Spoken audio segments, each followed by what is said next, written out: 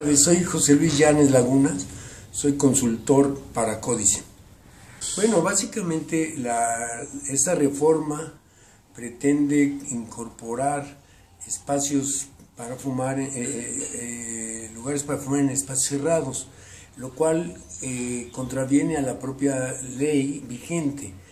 La ley vigente tiene como propósito preservar la salud de los ciudadanos, tanto de los que fuman como de los que no fuman. Y el derecho a la salud es un derecho fundamental, garantizado en el artículo cuarto constitucional y forma parte del conjunto de derechos humanos que protege nuestra constitución.